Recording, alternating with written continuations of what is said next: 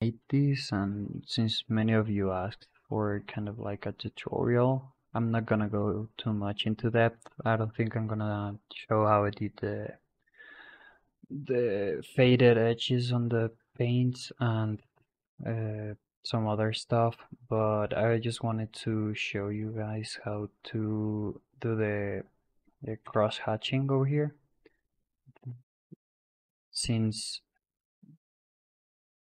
over here like where there is a shadow there is more lines than where there is like a lot of light. Like if you go over here to the light side you can see these are very faded lines but if you go into a darker side these are very uh, compact and, and very dark lines.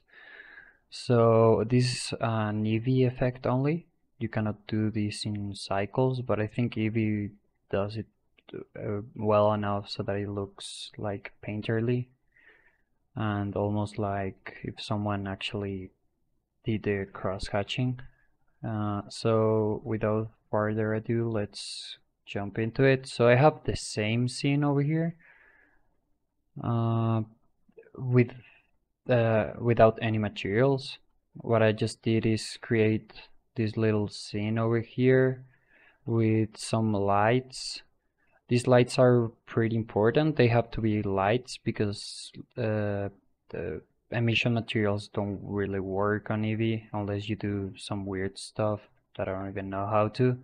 And a sun lamp so that we have uh, these lights over here uh, really strong lights and faded lights all over and also in the world uh, settings if we go over to this the rendering I just have a white world and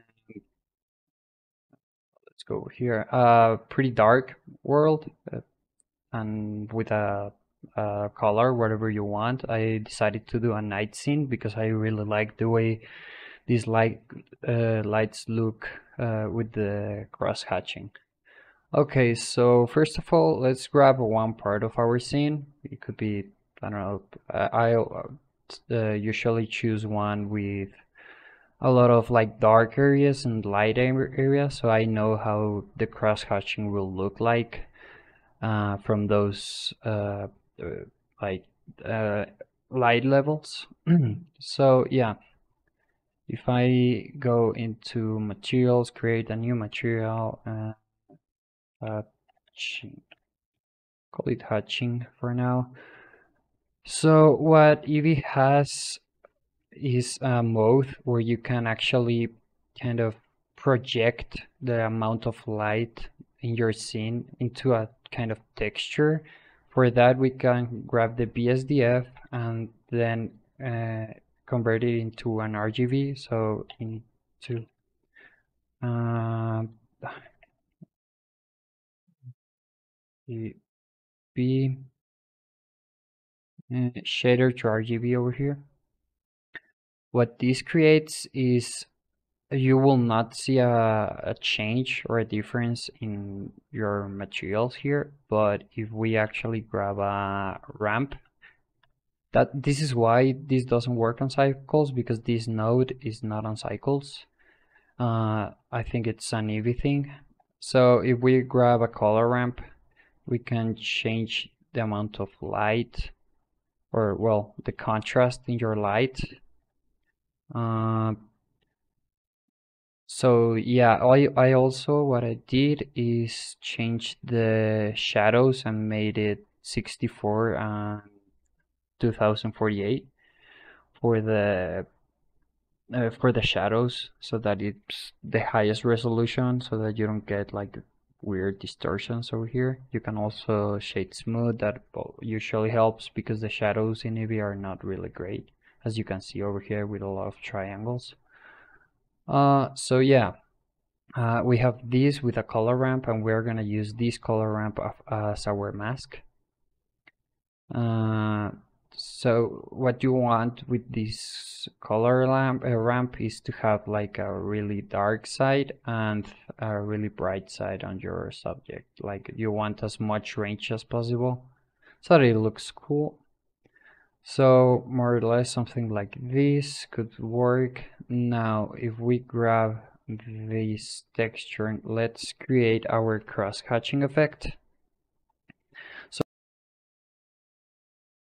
so as you can see I already applied all, all the materials, uh, the material to everything, but let's just focus on this guy over here. Um, so for the cross-hatching, uh, I'm just gonna explain it real quick. So I have two mapping nodes, which are not really important. These these only change the the direction in which the lines are facing, the rotation of the lines. Uh, but let's just get into the actual lines. So I took a window, uh, the window coordinate system, which is over here, window, and I plugged it in into a mapping node just so that I have a little bit more control. I plugged this into a noise texture so that I can distort the X direction. So what I did is uh, separate the XYZ then with uh, mix RGB, uh, uh, yeah, with a mix RGB uh, set to linear light, I just plugged the noise texture into with the window coordinate system into the linear light. Then I, well, I, I have a value over here which I divided by a lot because this factor has to be really really small because if it if it gets too big, the the lines get too distorted. Even now that is 0.006, you can see that the lines are really, really distorted. So what I did is just divide these into a big, really big number so that I can get a little bit more control over the the actual uh the yeah the distortion here. So yeah, what uh, what else that I do? I just combine those three vectors as you can see these vectors this is the my vector image out of the window. Then I uh, I plug this into a multiply. This just makes it really really high like in value. I multiply only the x direction because it's the only direction that I want to to to divide into segments. Then I divide this and yeah if you divide and then plug this into a modulo, you'll get these kind of strikes. Um, and these you can go into floor. This will make it so that uh, the black uh, in between gets uh, uh, is actually black, and then go into length. This will just give you the value of the vector without and transforming it into a black and white image.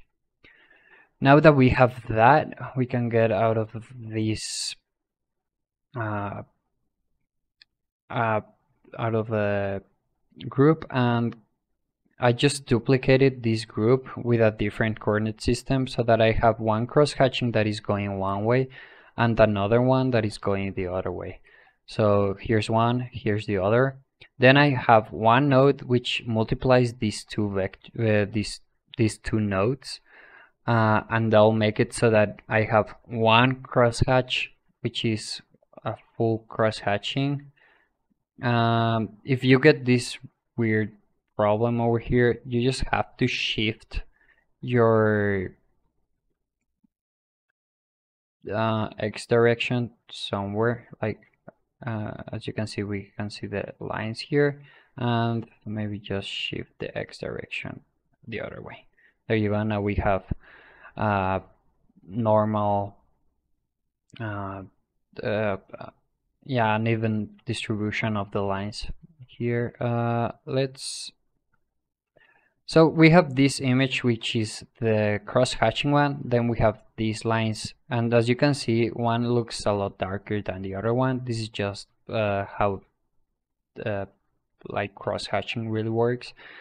So if we grab our mask node over here and we just flip it because it will, it will be by default like this we just have to flip the node here then use this as the factor.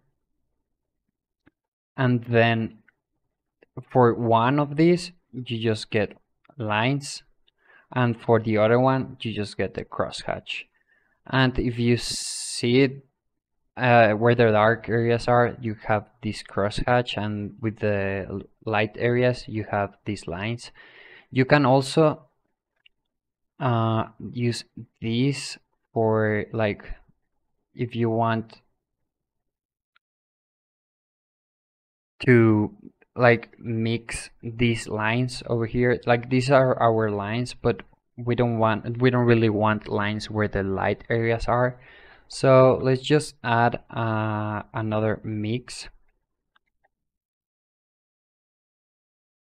over here and put this as a white. And then let's just to have a little bit more control I'm just gonna duplicate this and put it over here into the factory. What this is gonna make is well if we actually change this or either we can change the color ramp or we can just change the the colors here. Uh, and yeah there you go. So with this node we can control where the lines are. So I, I usually keep it really contrasty so that most of the areas with light don't get this weird cross uh, this cross hatching uh, something like that. And with this you, we can just multiply this because now we have a black and white image. We multiply this by for, uh, with the color uh, that we want as a base. And we just will put this into a principal BSDF and wait a little bit. As you can see we already have this cross hatching effect everywhere. You can apply different materials to different objects so that it doesn't look uh, like the lines are continuing with and just change like the the scale of things. Or you can just shift a add uh, uh, uh, uh is it grease pencil? Yeah stroke move the stroke out of the way put a modifier which is a line art. Where's my line art? There you go. Get colors get black and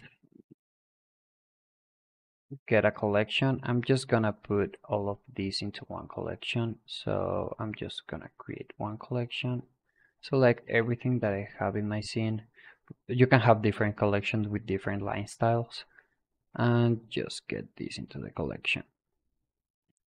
As you can see we have this. If we go into render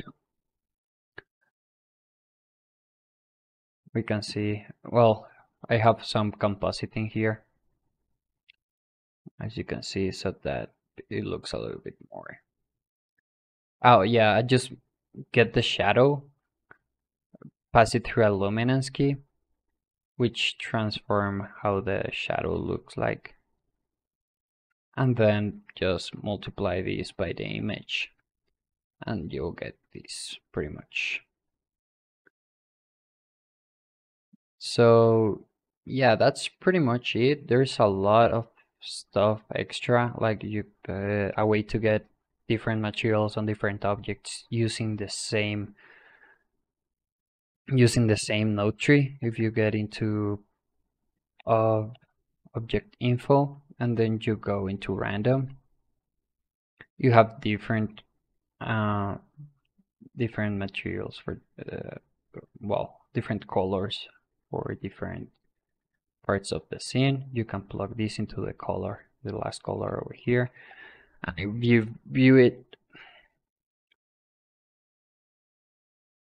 you can see that we have all of these materials here uh, but yeah that's pretty much how how I did the cross hatching effect and yeah I've a wonderful day. Thank you guys for watching. Goodbye.